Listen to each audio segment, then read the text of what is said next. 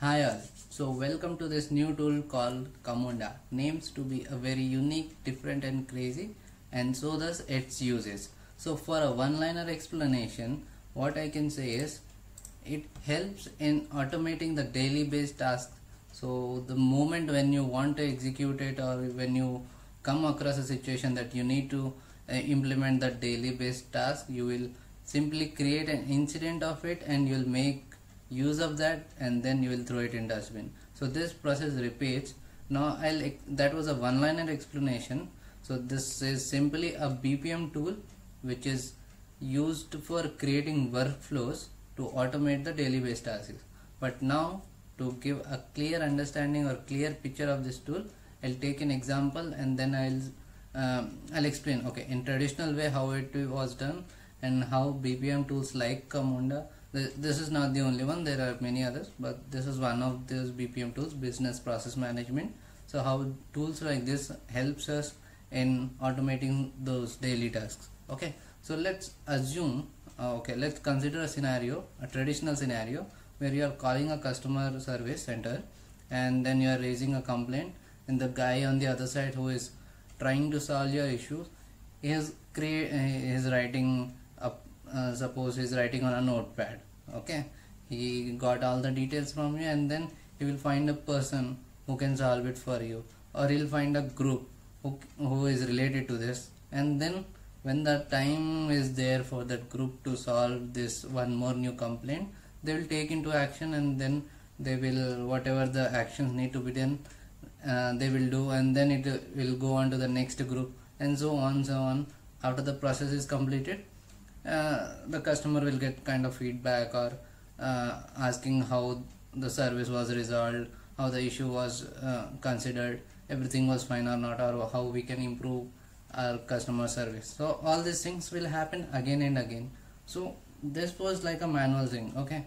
Now uh, let's see how we can implement the same scenario in the Camunda okay? So for suppose uh, this first task is the person who is trying to understand your complaint as as he is the one who is receiving your call and you're explaining him all the situation correct? So here assuming that this flow is implemented we are giving him some forms some fields to fill all those details that is required to uh, understand the issue and try to resolve. So we, uh, all the details which could be useful for the groups who is trying to resolve okay?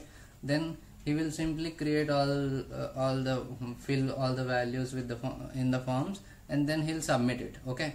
Now the person who is writing and taking your complaints will not be bothered about who is working on it or when it is going to be resolved and when the customer will be getting the feedback. He is not concerned about all this so he will be getting on to the next incident okay? So it is like the process that i have explained you before that was one incident of the same process when the new complaint comes one more new incident will create. So that's how uh, the incidents will be created. Now let's concentrate on one incident.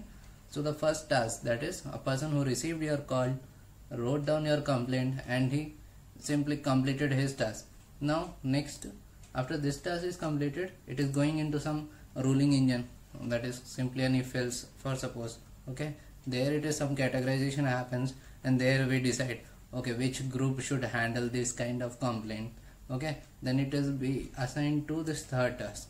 So this third task is like okay the third task got a complaint and it is assigned to a specific group.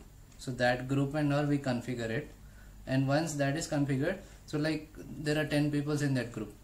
One of them finds that okay i am free i can work on uh, any ticket or any complaint that is assigned to my group. So all the 10 groups all the 10 members of that group can see that okay there is one complaint which is assigned to this group. Let uh, and once one of the person takes or claims that yes i want to work on that the remaining nine people won't be able to see because uh, we don't want multiple people to be working on the same uh, complaint right? So that is how we assign to group and then inside the group uh, group members will take the task. And once they complete it it will be going to the next group so in that way it is going to be completed. So here what is happening again? There is some automation happened in deciding which group is going to work. And here the group members are working on it but they are not bothering. Like if there is any task which is uh, worked by a uh, ex member of that group and is able to complete it or not. Okay? They are simply saying if there is any complaint coming to our group whether that is taken or not and suppose i am belong to that group and i am working on it. So once i complete my task i am not bothered like uh, who is going to take it up in the next group. Okay? I am simply saying that in this incident i am completing with my task and i am done. Now the control will move on to the next group.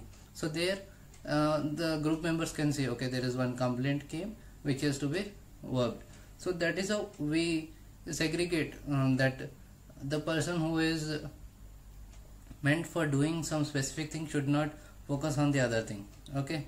So uh, once uh, the final group is completing the ticket will be resolved or you can say uh, the customer will get the feedback or feedback will be asked from the customer and the incident will be gone.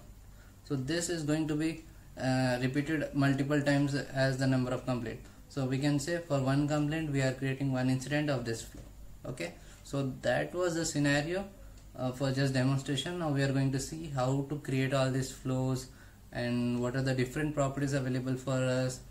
Okay so we are going to explore this complete Camunda in the playlist that you can watch out in this channel. So regarding this tool if you have any query on the conceptual layer because we are going to explore all the properties in the upcoming videos but conceptually if you have any queries please write down in the comment section. Thank you